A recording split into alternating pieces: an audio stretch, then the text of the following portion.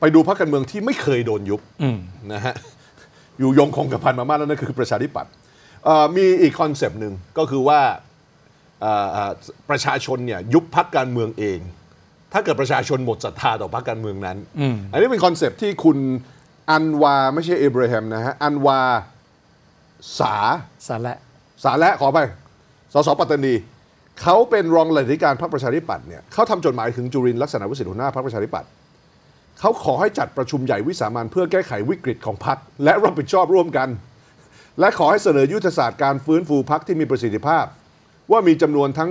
ทั้งสิ้น 3 หน้าจดหมายนี้ ระบุถึงปัญหาของการลาออกของสมาชิก คนสำคัญของพรรคระหว่างสมัยประชุมสภาอย่างต่อเนื่อง แต่ยังไม่มีมาตรการใดๆ จากฝ่ายบริหารที่จะแสดงความจริงใจในการแก้ปัญหาดังกล่าว พร้อมระบุถึงการรายงานของสื่อมวลชน ที่ว่าจะมีแกนนำคนสำคัญของพรรคลาออกอย่างน้อย 5 คนไว้ด้วย คราวนี้ประชาธิปัตย์เสียบุคลากรออกไปอย่างนี้ ก็เลยทำให้เขามีหนังสือ เรียกร้องให้มีการแบบแก้ไขปัญหาในพรรคอืมเขาเตือนนะ หมอเลียบเขาเตือนว่าเอ่อเอ่อพรรคการเมืองเนี่ยถ้าไม่แก้ไขปัญหาเนี่ยในที่สุดเนี่ย ประชาชนเนี่ยอาจจะเป็นฝ่ายที่ทิ้งพรรคการเมืองนั่นเองอืมคือประชาธิปัตย์เขาไม่โดนใครใครยุบหรอก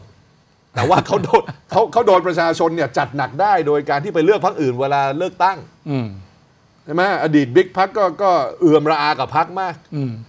ซึ่งมันก็เกิดปรากฏการณ์ทิ้งพรรคประชาธิปัตย์ในการเลือกตั้งที่ผ่านมาอยู่แล้วนะอืฮะมอย่างที่คุณอันวาสาระแกเขียน บอกว่าฮะในภาคใต้อืมซึ่งเมื่อก่อนเคยได้ตั้งฮะ52 ได้แค่ฮะ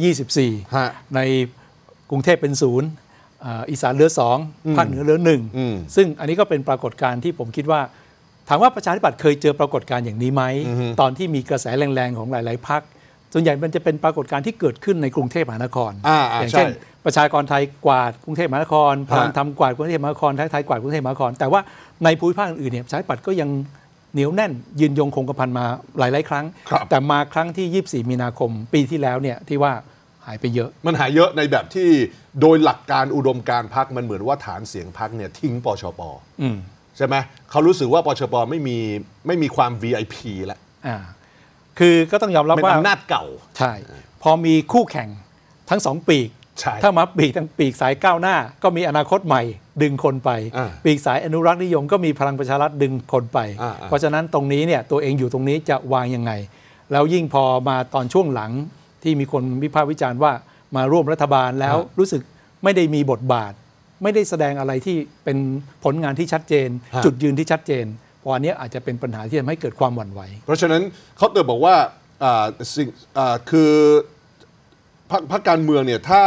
ประชาชนไม่ยอมรับ พวกเราไม่กล้าหาญพอที่ยอมรับความเป็นจริงเนี่ยและปรับท่าทีของพรรคให้สังคม ได้เชื่อมันและศรัทธาเนี่ยพรรคจะอยู่ไม่ได้อืมเมื่อกี้ผมขอแก้หมอเล่มนิดนึงอ่าปีกปีกสองปีกเนี่ยอ่าฝ่ายหนึ่งอาจจะก้าวหน้าจริง อีกฝ่ายหนึ่งไม่ใช่อนุรักษ์นิยม ถ้าพูดถึงพลังประชารัฐเนี่ยอ่า นั่นนั่นคือพรรคซึ่งเชื่อมโยงกับกลไกของผู้ซึ่งทำรัฐประหารมาอืมซึ่งอันนี้ผมขอแยกสิ่งที่พวกนี้ทำทั้งหมดออกจากอุดมการณ์อนุรักษ์ อ่าอ่าโอเค อุดมการณ์อนุรักษ์เนี่ยนะฮะอนุรักษ์ประเพณีวัฒนธรรมที่เออดีงามเออของประเทศชาติเนี่ยครับ ผมคิดว่ามันเป็นสิ่งที่สสะอาด อ่า และไม่เกี่ยวกับการรัฐประหารอืม นะนะผมเพราะว่าประเทศอื่นเขาก็มีฝ่ายอนุรักษ์นิยมที่ไม่ ไม่ยึดอำนาจด้วยการเข้าใจ ฉีกรัฐธรรมนูญนะ ใช่ใช่ใช่ใช่เอ่อความหมายนิยมนิยามอนุรักษ์นิยมของประเทศอื่นๆเนี่ยเขาเป็นนิยามในเชิงอุดมการณ์ทางการเมืองที่อีกแบบหนึ่งที่วัฒนธรรมประเพณีใช่ใช่ อ่าเรื่องเรื่องเรื่องเรื่องเคารพศาสนาอะไรเงี้ย อ่าแต่ความหมายที่ผมพูดคือว่ามันจะมีเมื่อก่อนเนี่ยคนที่เลือกประชาธิปัตย์อาจจะมีความคิดแบบที่คุณปลื้มพูดอะคือว่าชอบแบบเนี้ยอ่าชอบแบบ ชอบอะไรก็ไม่รู้จริง ๆ แล้วเอออ่าชอบชอบอะไรก็ไม่รู้จริงๆแล้ว แล้วแล้วพอมีพลังประชารัฐเกิดขึ้นอ่า พลังประชารัฐก็ดึงคนส่วนนั้นไป ครับครับผมรู้จักคนที่อยู่ในปีกที่ที่ที่ที่อยู่กับทั้งประชาธิปัตย์และพลังประชารัฐเยอะอ่าผมไม่ใช้คำว่าอนุรักษ์นิยมอธิบายเขาอืมครับ ไม่ใช่มันคนละเรื่องเลย ใช่ คืออนุรักษ์นิยมแบบที่แบบสากลแบบที่ผมมีไม่ใช่เนี่ยแบบนี้ มันไม่ใช่แบบนี้ แต่คุณปลื้มเป็นอนุรักษ์ไม่นิยแบบแบบท Tory แบบ conservative แบบแบบรีพับลิกันเนี่ย Republican ไม่ใช่แบบนี้ ใช่ ไม่ใช่แบบนี้เลยอืม ซึ่งอันเนี้ยก็น่าสนใจตรงที่ว่าประชาธิปัตย์คราวนี้เนี่ยอย่างที่คุณอันวาร์สาและพูดผมว่าผมเห็นด้วยนะฮะคือถ้าเปรียบเทียบตอนที่เขาตกต่ำหลาย ๆ ครั้งเนี่ยอย่างเช่นตอนที่มีเหตุการณ์ 10 มกรา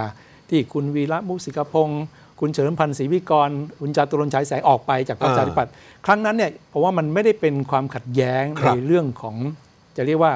จุดยืนหรืออุดมการณ์อืมเป็นเรื่องของความเห็นที่แตกต่างในแง่ของ การแบ่งสรรตำแหน่งอะไรต่างๆอืมแต่มาครั้งเนี้ยผมว่ามันมาถึงจุดที่เป็นทางแยกสองทางครับแล้วอาจจะสามทางก็ได้นั้นประชาธิปัตย์จะทำยังไงครับ